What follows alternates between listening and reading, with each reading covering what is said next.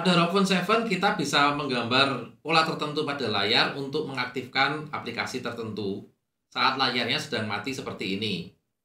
Misalnya saya menggambar huruf S untuk mengaktifkan kamera depan. Nah, kamera depannya langsung aktif. Hanya sayang sekali memang fitur ini kurang begitu bermanfaat untuk aplikasi tertentu yang tidak bisa bypass security Misalnya kita menggambar Z untuk mengaktifkan galeri. Nah, mau tidak mau tetap kita harus memasukkan pin atau sidik jari. Oke, sekarang bagaimana cara mengatur fitur ini? Masuk ke settings, kemudian advance, lalu gesture, geser terus. Nah, Tadi yang sudah saya aktifkan adalah S untuk kamera depan dan Z untuk galeri. Silakan aktifkan opsi yang lain yang dibutuhkan.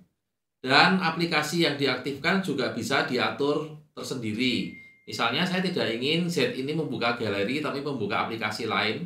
Silakan diketuk.